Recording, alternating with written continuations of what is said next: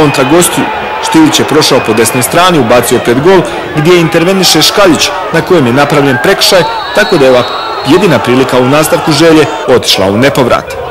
U 86. minuti u kaznom prostoru je oboren obak. Ovaj start Živković ocijenio za najstožu kaznu.